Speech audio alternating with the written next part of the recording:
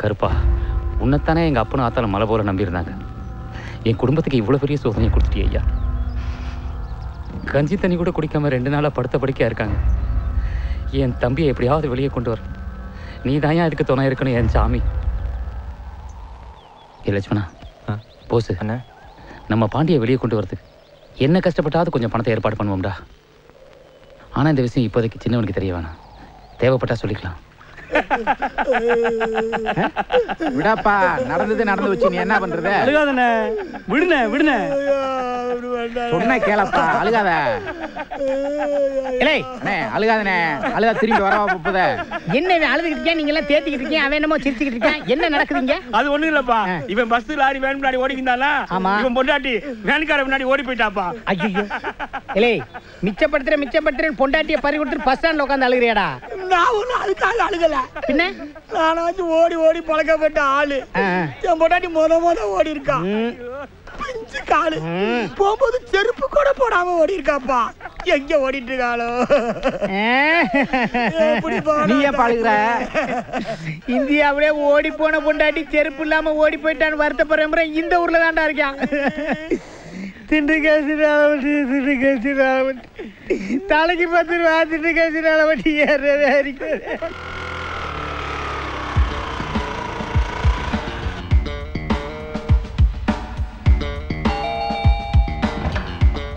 யார் வேணும்? இங்க செல்வம்னு. ஐயோ செல்வம் செல்வம் நீ பார்க்க யாரோ வந்திருக்காங்கடா. என்னடா?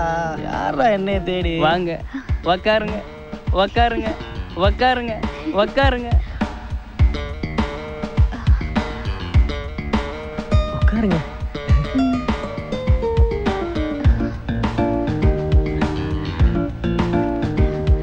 ஒரு நிமிஷம்.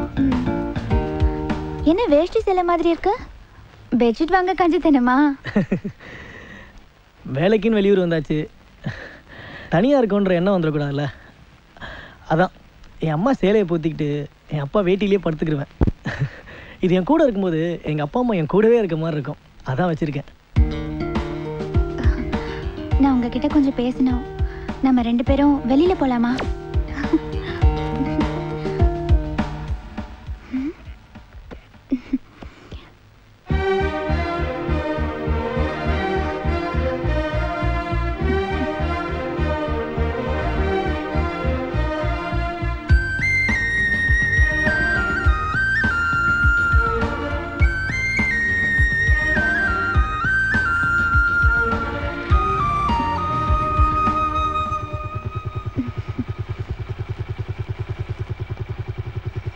ஒரு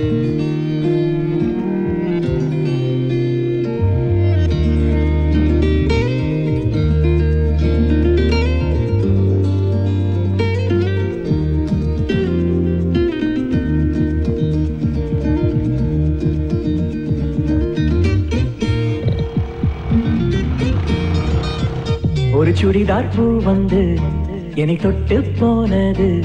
என் கண்ணம் ரெண்டில் ஹைக்கூ கவிதை சொல்லி போனது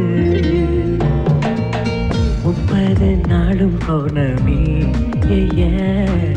முப்பது நாளும் போனமி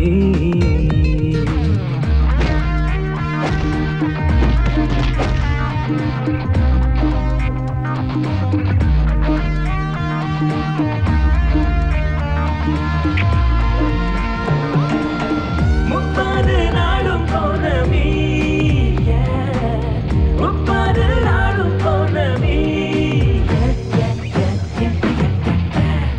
ஒரு சுடிதார் பூ வந்து என்னை தொட்டு போனது. என் கண்ணம் ரெண்டில் ஹைக்கு கவிதை சொல்லி போனது. முப்பது நாளும் பௌர்ணமி yeah, முப்பது நாளும் பௌர்ணமி.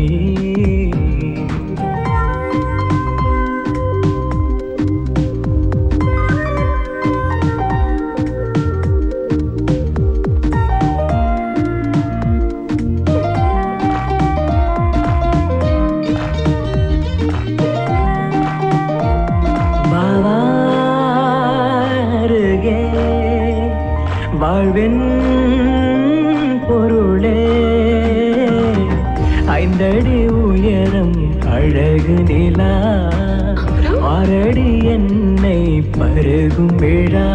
உன் செல்ல புன்னகை என்னை கொன்று போனது. அடி உன்னை கண்டு பூமி பந்து நின்று போனது. முப்பது நாளும்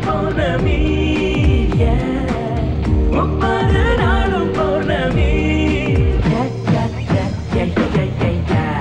ஒரு சுடிதார் பூ வந்து என்னை தொட்டு போனது. என் கண்ணம் ரெண்டில் ஹைக்கூ கவிதை சொல்லி போனது. முப்பது நாளும் பௌர்ணமி. ஏ. முப்பது நாளும் பௌர்ணமி.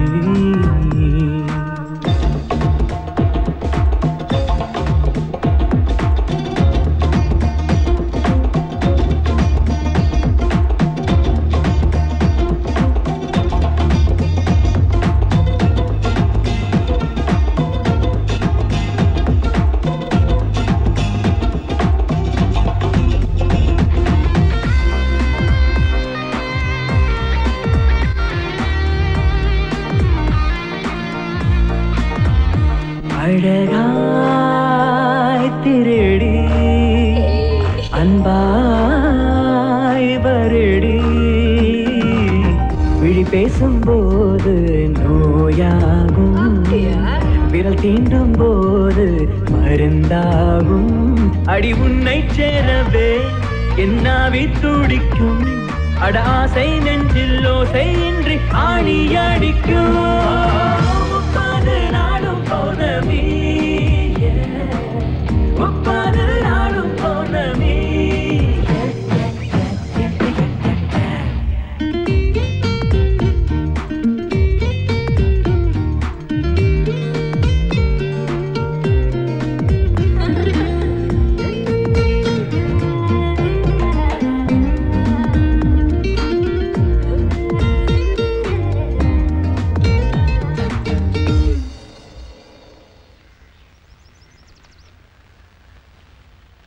அண்ணா.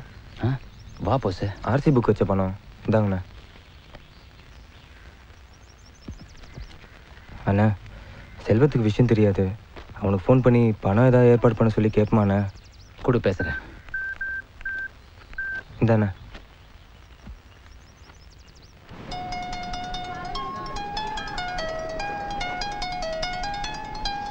அண்ணே.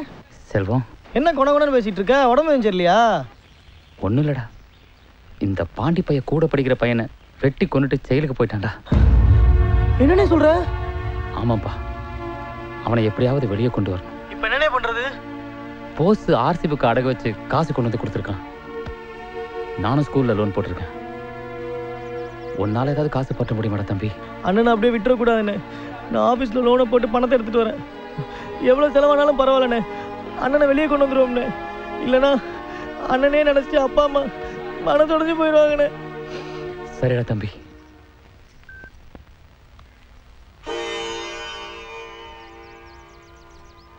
நல்ல குடும்பத்துல வாக்கப்பட்டிருக்கேன்னு நினைச்சேன். இப்பதானே தெரியுது கொலகார குடும்பத்துல வாக்கப்பட்டிருக்கேன்னு. வா எந்திரி. இவங்களோட சேர்ந்தா நீங்களும் தான் கெட்டு போயிருவீங்க. ஹம், உள்ள போனவன் பெரிய தியாகி. அவனை காப்பாத்துறதுக்கு அண்ணன் தம்பிங்களாம் சேர்ந்து காசு போராட்டானுங்களாம் காசு. மக்க தேவைங்க. எங்க இருந்து தான் வந்திருக்கானுங்களோ தெரியல.